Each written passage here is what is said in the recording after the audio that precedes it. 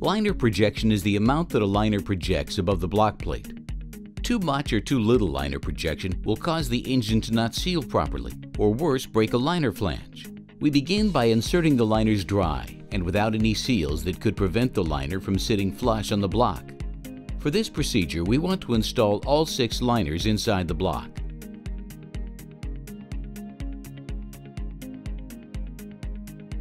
The block plate shim gasket is installed, followed by a new block plate. The block plate is largely responsible for the proper liner projection of the engine. A block plate thickness is equal to the liner flange minus 2 to 6 thousandths of an inch, which is the required liner projection of the engine. The technicians install six special hold-down bolts and washers on the first liner being tested. These bolts will hold down the liner and the block plate securely so that the liner projection can be accurately checked. A liner projection worksheet is a valuable tool to use during this procedure.